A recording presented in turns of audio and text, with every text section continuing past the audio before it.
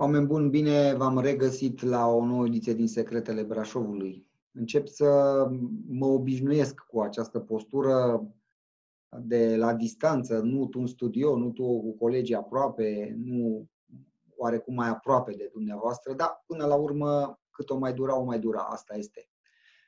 Și uh, subiectul din această uh, primă parte a emisiunii este oarecum foarte uh, legat de această situație. De ce? Pentru că, iată, mai avem mai puțin de o lună de zile și începe școala. Și uh, sunt tot felul de discuții, probabil că le-ați auzit, uh, au fost relatate și exprimate de către media, atât națională cât și locală. Dar, uh, așa cum știți foarte bine, luăm informația întotdeauna de la sursă, așa că îmi face plăcere să-l am alături de mine din nou pe domnul Ovidiu Tripșa, inspectorul general al Inspectoratului Școlar de Brașov. Bine ați venit, domnule! Bună ziua, bine v-am găsit. Vă mulțumesc pentru invitație. Cred că deja sunteți atât de obișnuit cu aceste conferințe, că bănuiesc că așa ați comunicat în ultima perioadă cu colegii, cu elevii, cu cei din minister, așa că o să vă rog să chiar vă dau cuvântul să ne spuneți cam care e mersul în punctul actual. Am auzit de un scenariu galben pentru Brașov, dar Uh, vă rog să ne spuneți dumneavoastră cum stăm în acest moment. Uh, este adevărat că și noi ne-am adaptat la situațiile actuale. Suntem în continuare în ceea ce numim stare de alertă și, bineînțeles, toate informațiile le-am transmis uh, prin această metodă de online. Le-am transmis și am primit informații în acest cadru de la minister și am transmis mai departe colegilor directori și profesori. A fost un an școlar, uh, anul care tocmai s-a încheiat uh, atipic. Le-am transmis colegilor directori că și vacanța va fi atipică, adică oriunde s-ar afla, dacă sunt în concediu, dacă sunt la școală, în momentul în care le transmit invitația de participare online la o videoconferință, îi rog să o onoreze, nu mă interesează unde sunt, ideea este să ținem legătura, să transmitem informația direct, direct de la sursă, așa cum spuneați și dumneavoastră, și dâns și ulterior să ia măsurile care se impun în școlile dânșilor și în societate, în cetatea în care trăiesc și așa mai departe. Știu că um, ați, uh, este un grup de lucru uh, la nivelul uh, municipiului Brașov, uh, constituit, mă rog, uh, chiar mă uitam aici ca să nu ratez pe nimeni, uh, uh, dar până la urmă esențial este că uh, este pornit, este domnul primar, cei doi viceprimari, directorul DSP, doamna Andreea Nicolau, inspectorul școlar general, adică dumneavoastră, șeful UPU, doamna Cristina Vecerdi, Uh, și de asemenea șeful SVSU, domnul Emil Pușcașu și știu că uh, pe 20 august, o primă întâlnire, ați încercat să stabiliți niște măsuri. Dacă ne puteți spune cam care este stadiul? Uh, trebuie spus că școala va începe pe 14 septembrie. Această informație a ajuns către părinți, elevi, profesori, prin mass media, a fost, transmisă de, a fost transmisă de președintele Iohannis. Ca atare ne pregătim pentru uh, implementarea scenariilor, uh, scenariul verde, scenariul galben și cel roșu, pentru situații diferite. Uh, aceste situații diferite vor fi implementate în funcție de numărul de cazuri raportat la mia de locuitori în ultimele 14 zile. Acum, dacă ne raportăm la data de 14 septembrie, calculul ar trebui făcut undeva începând cu 1 septembrie. Uh, în data de 7 septembrie, într-un draft al unui ordin comun uh, aflat în dezbatere publică, uh, se menționează acolo că în data de 7 septembrie DSP va pune la dispoziția inspectoratului școlar cifrele, situațiile, deci probabil pe un calcul calendaristic cu 14 zile în urmă, în care ni se va prezenta situația în sine. Noi o vom transmite școlilor, acestea, prin consiliile lor de administrație, vor lua decizia în ce scenariu și în ce posibilitate de reîncepere a anului școlar uh, este fiecare școală în parte, o va propune uh, inspectoratului școlar județean și Direcției de Sănătate Publică, pentru ca în final hotărârea va fi luată în cadrul Comitetului Județean de Situații de Urgență. Astăzi chiar am avut o discuție și cu prefectura, cu juristul uh, um, din cadrul prefecturii pentru a vedea din punct de vedere legal cum vom transmite aceste hotărâri fiecarei școli pentru ca să fim în legalitate, ca să spun așa. Revenind un pic spre municipiul Brașov, unde sunt uh, populația școlară e cea mai numeroasă, nu, spațiile școlare sunt cele mai numeroase, aici, într-adevăr, uh, ne-am constituit într-un uh, grup de lucru, așa cum menționați dumneavoastră, pentru a vedea care sunt perspectivele de începere a anului școlar. Eu nu vă pot ascunde, întâlnirea a durat peste două ore, a fost o întâlnire constructivă, fiecare și-a spus ideea, fiecare Uh, am menționat în domeniul lui cam ce ar trebui făcut, astfel încât uh, elevii să se simtă în siguranță și nu numai asta, dar și părinții și colegii profesori să fie în siguranță. Uh, din datele pe care DSP-ul le are până astăzi, până ieri, de fapt, suntem încadrați, municipiul Brașov este încadrat undeva în scenariul verde. Dar pentru prevenție, pentru o precauție, ca să spun așa, o să implementăm, de fapt, o să ne mobilizăm forțele și tot ceea ce înseamnă logistic, o să ne mobilizăm pentru scenariul galben. Aici, la scenariul galben, probabil toată lumea știe ce presupune acest lucru. Uh, elevii din preșcolar, uh, clasele primare, clasa 8 și a 12, adică cele terminale, vor fi integral la școală, vor veni uh, în integralitatea lor la școală clasele de gimnaziu, a 5 a 6 a 7 respectiv a 9 a 10 a și a 11 a uh, vor veni pe grupe, uh, splitând clasa sau uh, făcând clasa astfel încât jumătate din efectiv să fie la școală, iar jumătate să fie acasă, dar acasă conectat online cu ceea ce predă profesorul la clasă. Pentru aceasta și de asta, acum în grupul de lucru, fiecare a discutat pe speța lui și am solicitat primăriei, de fapt solicitarea a fost mai de mult, domnul primar a venit uh, personal în întâmpinare și a uh, spus că va susține școlile și prin dotări. Dotări însemnând sisteme de videoconferință pentru fiecare școală în parte, astfel încât profesorii să poată transmite ora uh, sau, mă rog, transmisia să fie de calitate, atât audio cât și video, va susține transmisiunea sau, mă rog, realizarea orelor prin laptopuri și tablete uh, date școlilor. După care, uh, Direcția de Sănătate Publică, uh, ca să zic, punctând din ceea ce înseamnă norme de sănătate, norme de respectare a, și de distanțare, se vor face achiziții în continuare de măști, viziere pentru fiecare elev și pentru fiecare profesor în parte.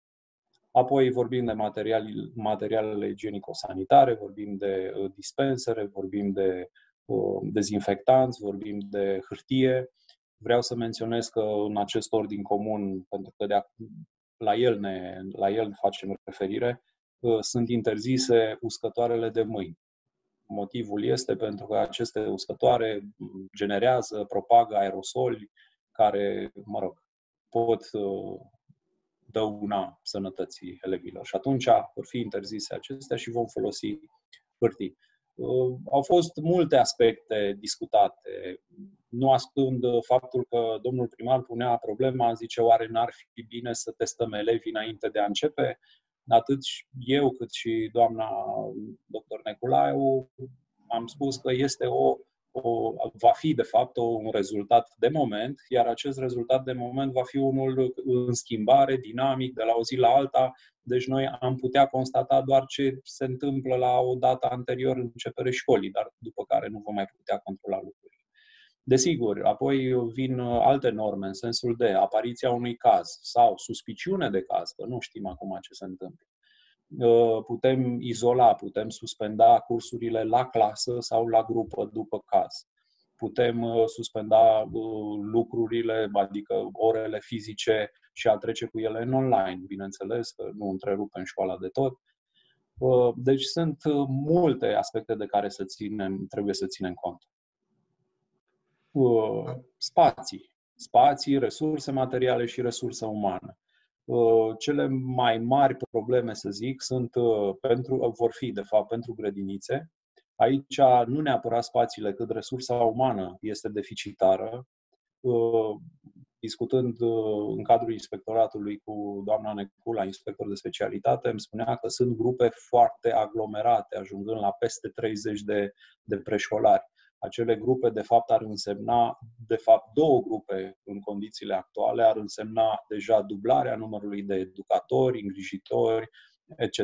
Spații ar fi, spații se găsesc și am totodată primăria și domnul primar a avut deschiderea și ne spunea că trebuie să ne mai întâlnim, evident, pentru a uh, vedea care este necesarul și a face achiziții de acele module sau, mă rog, cum le spunem noi, spații modulare, uh, care pot fi amplasate în curtea școlii sau într-o zonă limitrofă grădiniței, să nu zicem numai de școli, și să putem uh, să ne organizăm programe. Dar toate acestea numai în condițiile unei resurse umane adecvate. Um, mă gândeam acum când povesteați dumneavoastră, clar, sunt foarte multe necunoscute, adică cel puțin așa pare la prima vedere, chiar dacă sunt unele lucruri care, uh, pe care le-ați spus, pe care le-ați menționat și care se vor face, e foarte clar, cel puțin așa, privit din exterior, că o să vă loviți de multe aspecte și multe lucruri pe care nu aveți cum să le anticipați. E evident asta. Este, este evident, sigur, dar așa cum am spus uh, și în cadrul ședinței de ieri, uh, avem totuși un atu. Atul este acela că în perioada, și bine știți că am fost invitat și la emisiunea din noastră, în perioada 2-12 iunie școlile au fost redeschise pentru absolvenți, au fost uh, cursuri Uh, pentru acestea sau cursuri de pregătire a examenelor naționale. Ca atare, cel puțin școlile gimnaziale din tot județul sunt pregătite, au, au uh, stabilite circuite, s-au achiziționat dispensere, au, am avut materiale, am avut măști pentru toți absolvenții, Ministerul ne-a pus la dispoziție. Ca atare, deja avem o mică rutină din punct de vedere organizatoric. Și asta am spus uh, ieri că este un atu și știm ce avem de făcut va fi un impact major la grădinițe, vă dați seama, acolo și vârsta este cu totul alta. Doamnele, doamna Vecerdi și doamna Neculau spuneau că acolo trebuie făcut un instructaj, instruit personalul, ar trebui câteva cursuri de specialitate, cum să ne spălăm, cum să ne igienizăm, că aici sunt, sunt două, două aspecte și sublinia doamna doctor Neculau. Este partea de dezinfecție și este partea de curățenie. Una este dezinfecția, alta este curățenia. Ehm, la fel, aici avem uh, deficit de personal, dar o să ne mobilizăm și o să facem tot ce este mai bine pentru copii. Ei să vină, mă rog, cu siguranță, cu siguranță vor veni cu bucurie la școală. Ei nu s-au mai văzut, ca să zic așa, din martie cu colegii. Uh, probabil s-au cam săturat și de videoconferință și de online și vor dori să vină la școală. Noi ceea ce facem este să încurajăm să vină la școală, să fim cât de cât pregătiți uh, pe toate aspectele, să nu fim luați prin surprindere. Nu le putem prevedea pe toate, dar uh, aspectele majore le putem acoperi. Da? Eu zic că asta este foarte important. Examenele Clar. naționale au trecut și ați văzut, examenele naționale au trecut fără uh, cazuri grave sau cazuri deosebite. Eu n-am auzit. Nu știu în Brașov, dar nici în țară nu am auzit. La nivel de țară, da, cred că nu au fost, dacă nu mă înșel, da. Um, Acum să tot... zic așa, am auzit, da, am auzit uh, așa un pic de panică că după examenul de nu știu care, de la evaluare națională, a apărut un caz la un elev. Dar uh, pentru că s-a purtat masca, pentru că s-a fost distanțat, pentru că ne-am uh, igienizat toți ceilalți din jur, nu au fost și alte, uh, alte cazuri dintre contact sau dintre colegii care au fost în sală cu el. Da, deci iată da. că măsurile sunt bune cât de cât. Da, exact, asta am vrut să zic, că au funcționat în momentul în care dacă omul a fost și a dat un examen probabil cu alți 20 de inși în sală și nimeni, și inclusiv profesor, și nimeni nu a avut de suferit, înseamnă că funcționează, da. Uh, o să fie, clar, greu de respectat toate așa cum spuneați, mai ales la grădiniță, unde un copil în clasa 5, a 6, a 9, te mai înțelegi cumva. Da? Un copil la grădiniță e un piculeț mai dificil, da? Probabil că o, o, să, o să se reușească lucrându-se pe grupe sau... Da. Uh, voiam să pun o întrebare pentru că auzeam discuții uh, chiar ale părinților uh, vis-a-vis de copii care spuneau că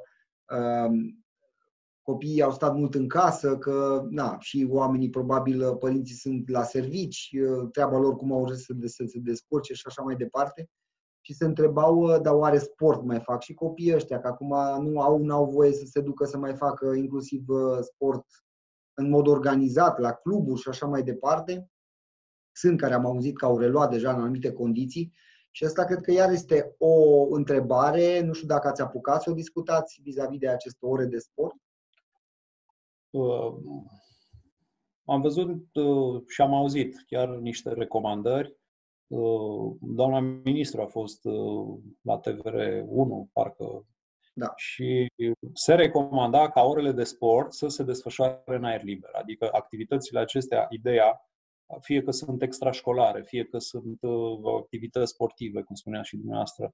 Uh, discutam cu cineva, uh, vom mai face cor? Mai facem cor? Păi am zis că dacă filarmonica funcționează, corul madrigal funcționează într-un teatru de vară, opera Brașov funcționează în curtea operei, presupun că o să facem și noi cor la școală, nu? în curtea școlii, în sala festivă, vom găsi spațiu și pentru aceste lucruri.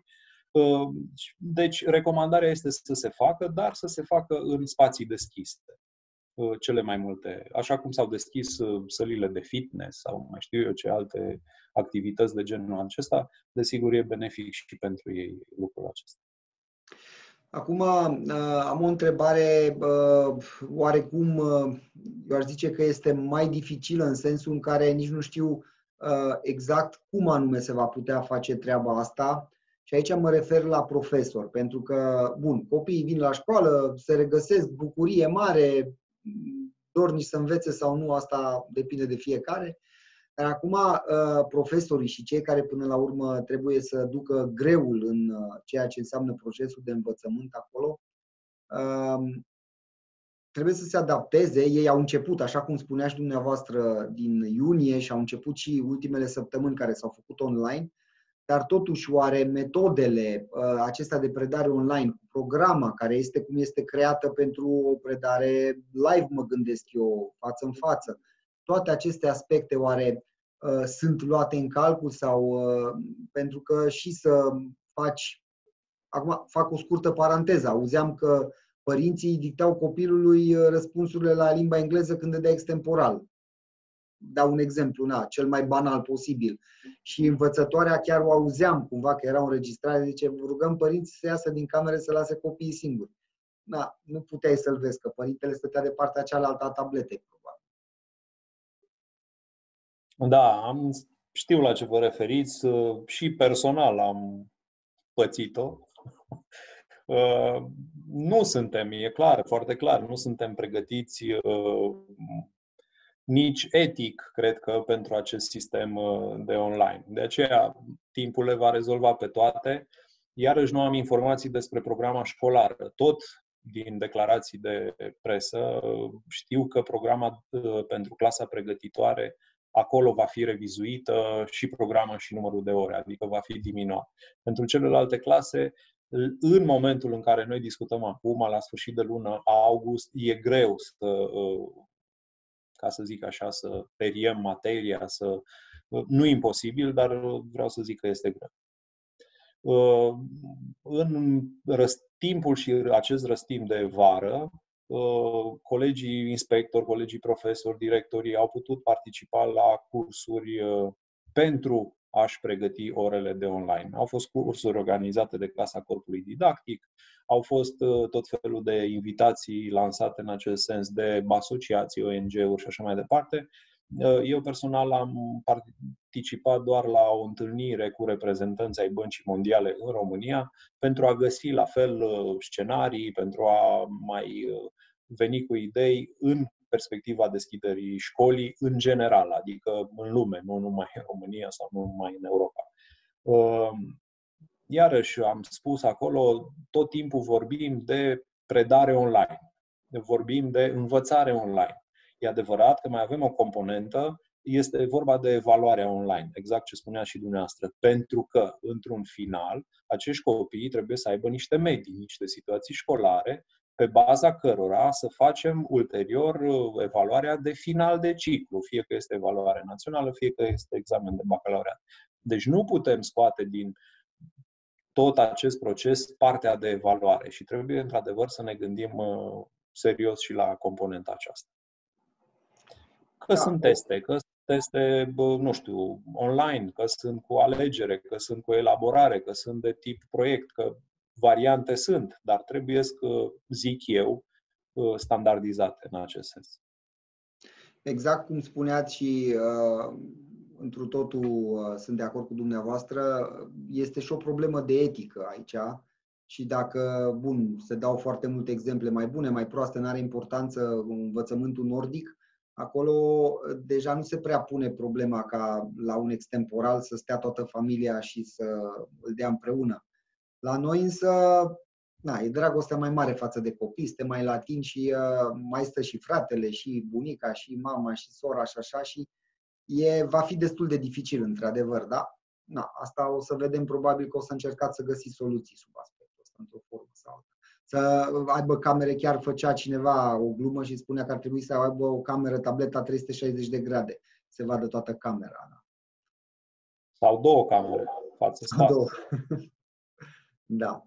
Um, un alt aspect foarte important, um, asupra căruia aș vrea să ne spuneți dacă s-a stabilit ceva sau cum stau lucrurile, este cel uh, legat de cantine, cel legat de um, loc unde mai stau cei care vin din uh, afara orașului sau din alte zone. Mă refer la cămine. Cum sunt lucrurile aici din acest punct de vedere? Pentru că și masa, și știm bine, uh, mai ales pentru cei care vin mai de departe, este o problemă destul de importantă. și cazul grădinițelor cu program prelungit. Tot da. în, în această categorie se încadrează. Aici am vor, primele discuții le-am pornit cu directorii care au în administrare, să zic așa, cămine și cantine. Și dânsii deocamdată sunt în expectativă pentru că nu există o precizare de câți elevi vor fi cazați într-o cameră cu baie proprie, hai să luăm idealul, uh, cu baie proprie. Ei mergeau pe ideea de doi. Alții spuneau că nu pot să asigure uh, doi elevi pentru că sunt suprapopulați și vor fi câte trei sau patru. Acum, nu, dacă am redus distanța de la 2 metri la 1 metru jumate, acum în cadrul școlii suntem la distanță de 1 metru, presupun că într-o cameră, pe un anumit uh, pe o anumită suprafață, pot să stea 2, 3 sau chiar și 4 elevi. Desigur, din punct de vedere a respectării normelor privința funcționării cantinelor. Ieri, adică iarăși în această ședință tehnică, am ridicat problema și spunea că pentru siguranța elevilor cel mai bine este să se asigure un serviciu de catering. Adică uh, hrana să vină ambalată, va fi livrată elevului și eventual vorbeam pentru grădinițe, de exemplu, uh, masa să se ia în sala de clasă unde își desfășoară și restul activităților. Bineînțeles, ulterior, cu aerisire, cu igienizare, cu curățenie, atâta timp cât probabil copiii vor merge la toalete, se vor respăla pe mâini și așa mai departe. Uh, pentru că nu mai putem vorbi de acele săli de mese în care fiecare elev să vină să se așeze.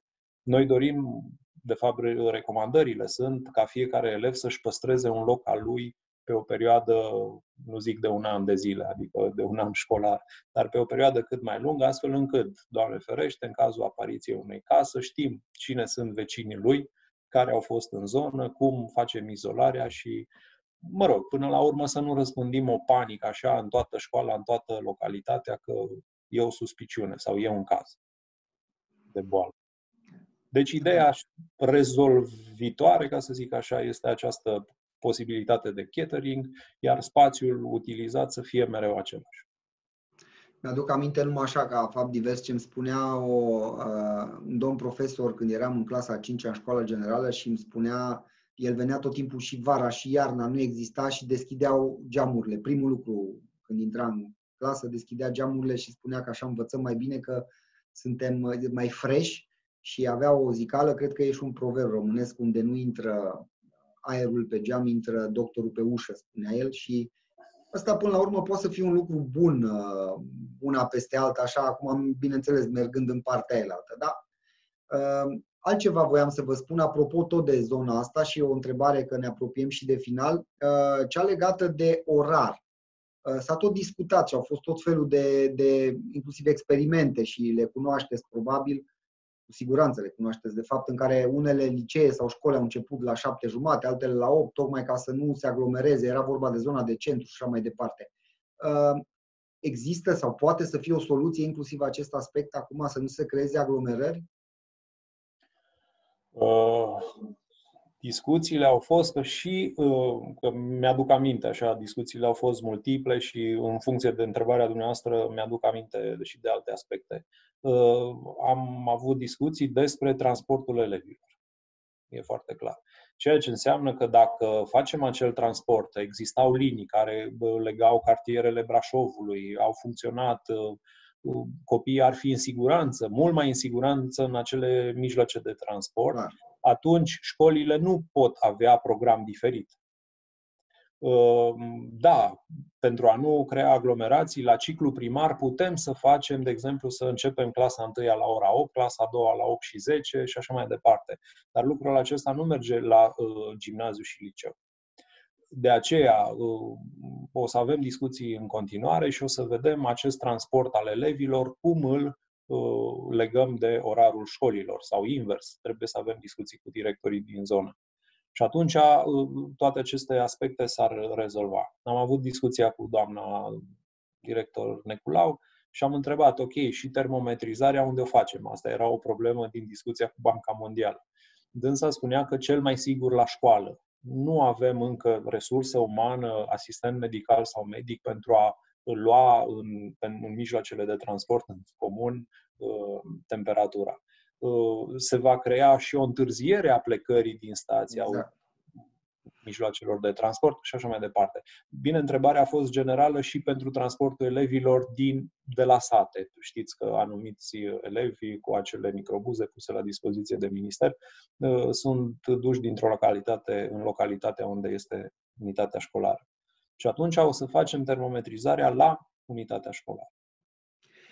Bun, uh, domnule Ovidiu Tripșa, uh, multe întrebări mai sunt. Eu vă mulțumesc oricum foarte mult pentru discuția de astăzi și vă invit încă de pe acum, ca în perioada aceea pe care a spus-o cu o săptămână înainte, cu două săptămâni, când clar se vor mai lămuri unele lucruri, uh, vă invităm din nou să veniți și să, să comunicați celor uh, care Sigur. vor să audă și cu siguranță. Noi am colectat multe date din, tor- din teritoriu, știm și câte săli nu se pot asigura la nivel de județ.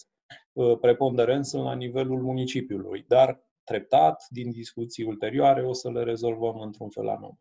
Uh, știm câte norme avem nevoie. Avem destule date pe care să lucrăm și cu care să, de fapt, să deschidem anul școlar, fără probleme iar lucrurile pe care nu le putem anticipa să reușim să le rezolvăm în timp. Cât mai util. Da. Bine, vă mulțumesc foarte mult, domnule Tripșa, și uh, succes că aveți nevoie. Doamne ajută! Oameni buni, atâta pentru prima parte la secrete. Luăm o scurtă pauză și ne revedem.